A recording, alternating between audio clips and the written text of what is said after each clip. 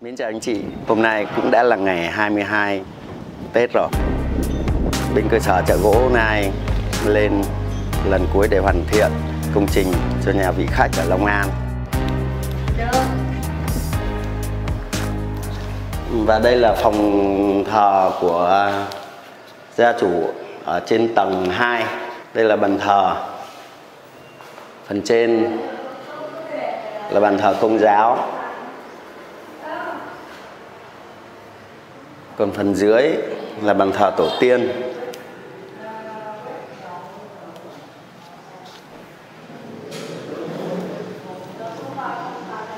Và phòng thờ này thì à, mới hoàn thiện được phần à, chính là bàn thờ. Còn à, những bộ ghế để ngồi ở đây thì vẫn chưa kịp làm. Nên là để sang năm, bên cơ sở làm tiếp. Rồi mà, giờ mời anh chị đến những chi tiết sản phẩm khác nữa.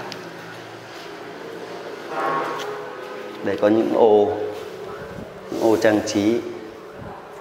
Ở phòng thờ này thì có bốn ô như này. Và đi dọc theo hành lang là một phòng ngủ. Đây là dàn cửa cửa phòng ngủ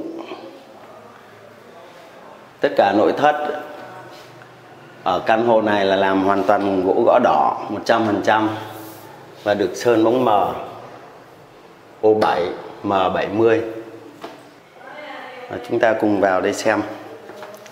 Đây là phòng ngủ. Phòng ngủ này à, tạm gọi là phòng à, chờ của khách vì thế là mới có mỗi một cây giường thôi. Còn về phần tủ áo với những tủ khác thì bên cơ sở vẫn hẹn à, lại sang năm làm tiếp. Đây là mẫu giường thiên lý video trước thì bên cơ sở cũng review một mẫu giường thiên lý như thế này rồi. Tiếp theo là một phòng ngủ nữa. Thì chúng ta cùng vào xem. Và phòng ngủ này thì cũng được sử dụng cửa gỗ gõ đỏ. Xin mời anh chị cùng và xem chi tiết. Và phòng ngủ này là phòng ngủ của con gia chủ. Gồm có um, một giường một tủ áo. Tủ áo này là tủ áo 2 mét được làm uh, thiết kế hài hòa phù hợp với uh, cái mẫu giường như thế này. Tủ áo này thì không có sử dụng các ngăn tầng bởi vì uh, mục đích của chủ nhà là dùng để treo hết tất cả các quần áo chứ không có gấp. Và đây cũng là một chiếc giường 1m8 2m đây là một mẫu mới của bên cơ sở. Và tất cả các giường được dùng dạt phản cũng bằng gỗ gõ đỏ. Kế đến là một chiếc tủ tivi nhỏ. Tủ tivi này rộng 1m4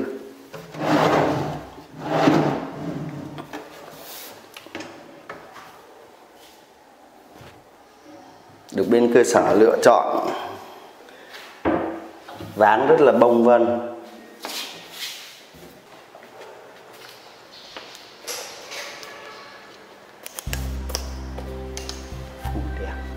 Đây một kệ trưng bày ờ, được gia chủ đặt làm là để chơi nguyên đồ cổ.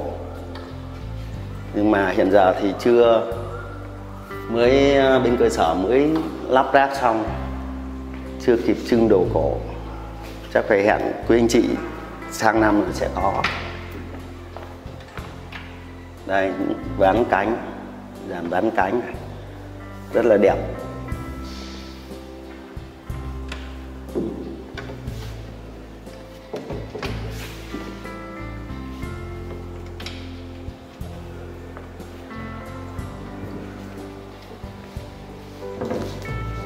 Thiết kế những à, hai cái cột hai bên này.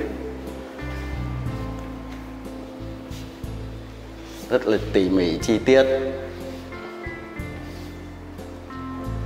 Đường nét đục chạm theo kiểu lá tây tân cổ điển.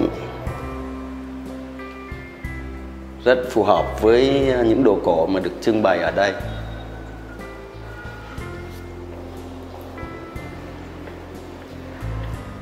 tủ này có ừ, chiều rộng là 3 mét mốt.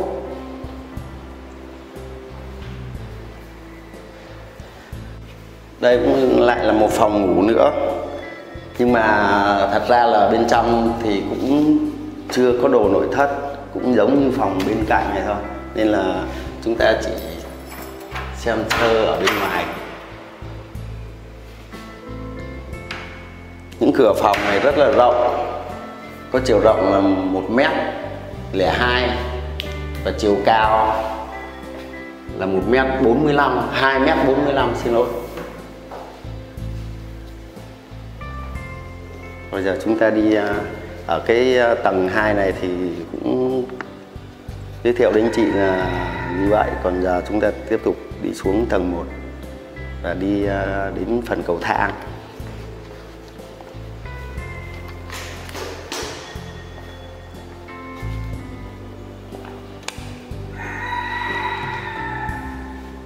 Đây là cầu thang được làm hoàn toàn bằng gỗ gõ đỏ. Về phần bậc trụ, lan can và các vách tường cũng được trang trí bằng gỗ.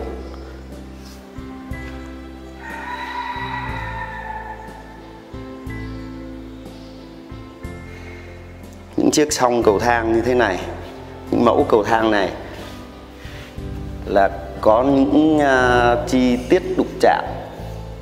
Và mẫu này là mẫu độc quyền à. mẫu độc quyền được uh, vị khách uh, này đặt. Đây là đục CNC chứ không phải là hàng đục tiện đục CNC bốn mặt. Và chúng ta cùng đi xuống cầu thang xem cầu thang này đẹp như thế nào tay cầu thang này thì rất là to. Bản này là bản 9 phân. Còn tính đến cả bản dưới này nữa là tới 12 phân. Và những bậc bậc này được làm độ dày là hai phân rưỡi. Đi rất là êm chân. Và những à, ván ốp tường dày đều phân hai hết.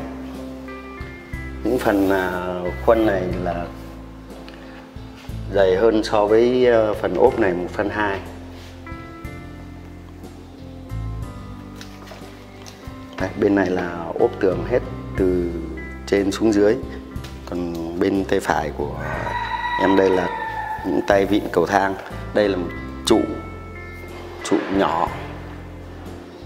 Ở đây có hai trụ nhỏ. Và đây là khối bê tông cũng được bên cơ sở ốp gỗ. Khi à, mà chúng ta nhìn vào là thấy hoàn toàn bằng gỗ, không thấy bê tông đâu.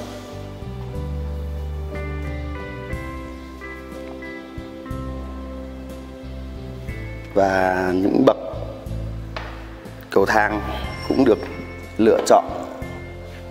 Ván rất là bông vân, lựa chọn rất cẩn thận đây là những cái song xéo cầu thang.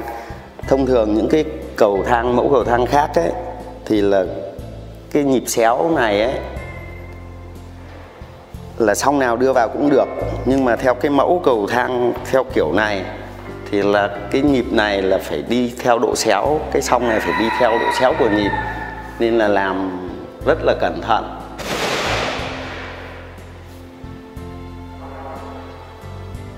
Đây là những à, khối bê tông cũng được ốp gỗ.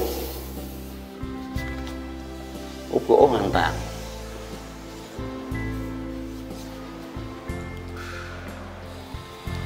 Như à, cầu thang này thì có hai trụ chính. Trụ đề ba và trụ kết thúc ở trên. Trụ này là nguyên khối.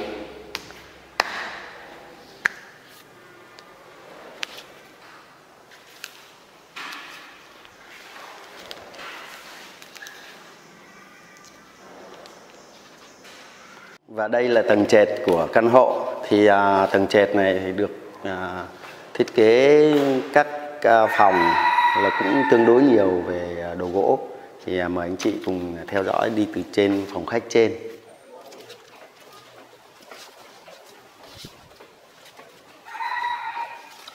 bên cơ sở cũng mới vận chuyển và giao một cặp lục bình một mét chín mà trong video lần trước, bên cơ sở đã review đến quý vị.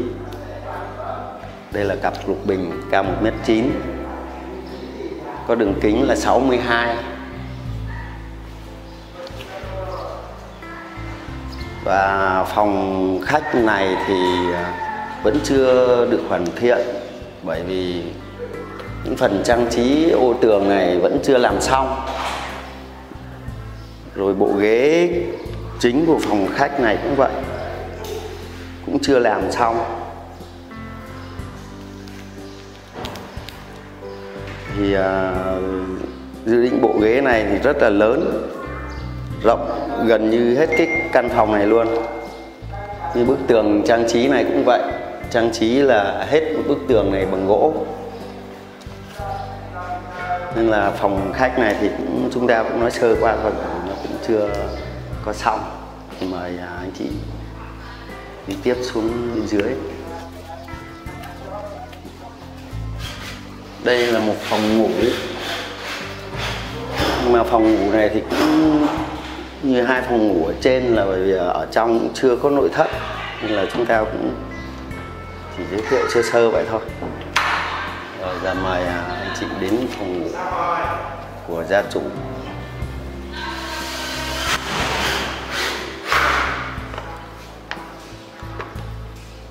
Đây là phòng ngủ của gia chủ. Mời nhà anh chị vào xem. Cơ sở cũng mới lắp ráp xong nên là cũng chưa có rộng dẹp được. Cái phòng ngủ này ờ, của gia chủ là gồm có phần chính là một giường, một tủ áo 2 mét mốt, một bàn trang điểm và một kệ tivi như chiếc giường này thì cũng rộng là 1m8 và hà chiều dài 2m thì mẫu này bên cơ sở cũng làm nhiều năm nay rồi nhưng mà vẫn chưa có dịp để giới thiệu đến quý anh chị. À, nên nhưng mà hôm nay cũng chỉ giới thiệu sơ sơ thôi để à, lúc nào sang đầu năm đi bên cơ sở sẽ review chi tiết các sản phẩm à, những cái mẫu mà bên cơ sở có rồi mà chưa có thời gian mà review như cái mẫu giường này thì rất là đẹp, rất là dày dặn, đục chạm thì chi tiết. Giặt giường cũng được xài à, bằng giặt phản những phần đuôi giường này như anh chị cũng thấy, rất là đẹp chắc chắn. Vai giường thì dày, vai dày và rộng. Và đây là một chiếc bàn trang điểm mà bên cơ sở cũng review, giới thiệu đến quý anh chị ở cái video trước. Một chiếc bàn trang điểm này.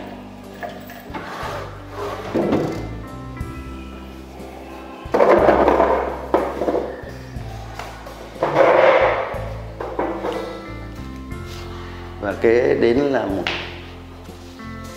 chiếc tủ áo. Làm nước.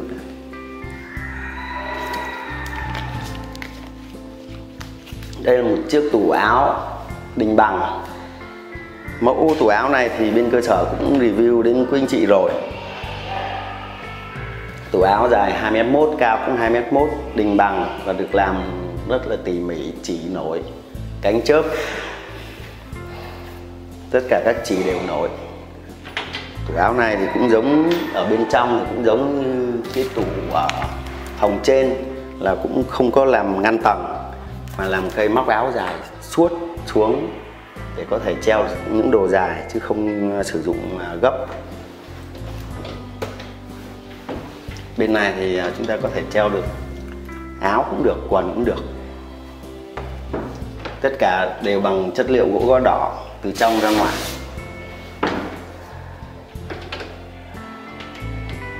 Và còn một sản phẩm nữa đó là chiếc tủ tivi. Tủ tivi này thì cũng giống ở phòng trên. Số đo cũng vậy là một mét tư và cũng được lựa chọn. Ván rất là bông vân. Lại là một cái phòng khách nữa. Thì à, bên cơ sở nghĩ đây là một cái sảnh rộng lớn như thế này gọi là cái sảnh sinh hoạt chung. Chứ à, phòng khách chính thì đã ở trên rồi. Và phòng sinh hoạt chung này thì gồm có cầu thang. Có một cây cột ở ngay đây và cột này cũng được ốp gỗ. Với cái hình dáng là lục giác. Cột này cũng khá là to. Được đục chạm theo phong cách uh, lá tây phong cách tân cổ điển. Phần trên cũng lục giác phần dưới cũng lục giác. À, quay cận cảnh anh chị xem chi tiết à, đường đục.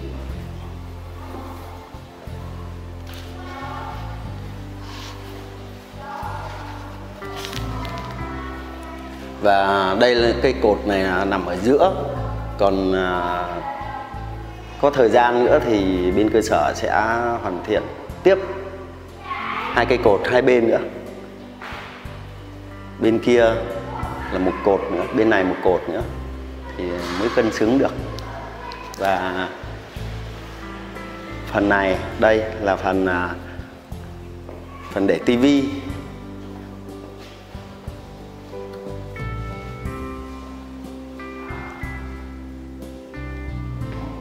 những cái ô trang trí này thì cũng được ốp cột gỗ. Ốp cột gỗ theo một cái phong cách là cũng cổ điển được đục chạm lá tây hoa lá tây. Có chiều cao cột này là 3 mét tư. Và phần giữa này thì được làm một cái vòm.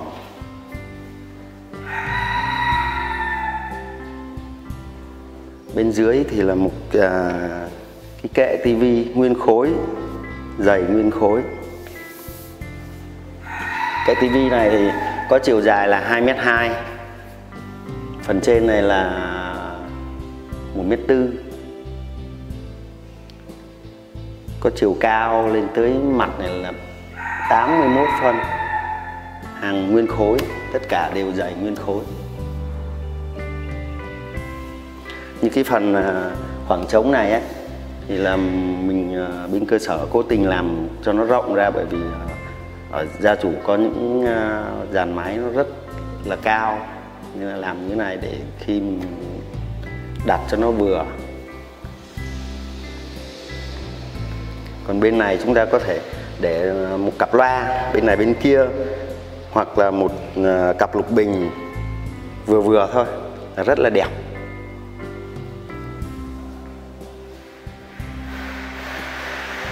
Và hai bên thì có mỗi bên có hai ô. Trang trí gỗ như thế này. Ô này có chiều sâu cực sâu tường này rất là dài. Cầu thang khi mà quý vị được đứng trực tiếp ở cái, cái phòng này thì mới thấy được cái độ đẹp của nó.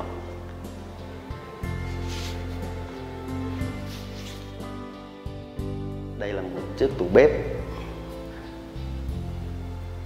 Chiếc tủ bếp được làm với một cái mẫu theo phong cách tân cổ điển. Được làm mà chi tiết, từng chi tiết một, chăm chút và những ván, cánh cũng vậy. Rất là bông vân.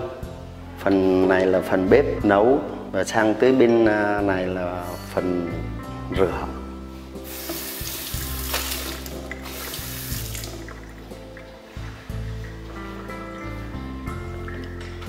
Đây phần tủ dưới đây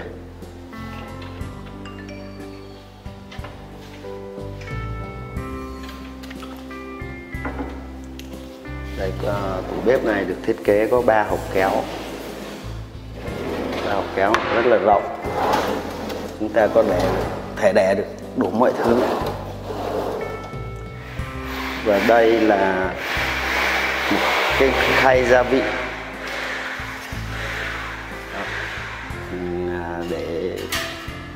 Dao, thớt, thìa đũa mắm muối. Phần này là phần bếp ga. Và để thùng gạo.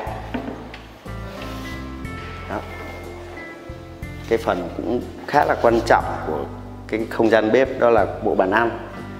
Bộ bàn ăn này, đây là bộ bàn ăn nguyên khối, được gọi là bộ thường thường người ta gọi là bộ K3 nhưng mà đây là bộ K5 K3 là gồm có 1, 2, 3 nhưng mà bộ này là K5 hai đầu đầu này và đầu kia. Có thêm cái đôn như thế này. Bộ K5 này thì có một chiều dày này là 12 phân. Chiều rộng này là 92 mặt bàn này là rộng 92 và có chiều dài là tương đối dài là 2m76 và chân chân bàn cũng là nguyên khối. Còn mặt ghế cũng có chiều dày là 12 mặt rộng là 40 còn chiều dài thì cũng dài như bàn là 2m76 chân thì cũng nguyên khối dày 12 đây là bộ K5 à, mời anh chị cùng đi một vòng cái bộ ghế này xem nó đẹp như thế nào.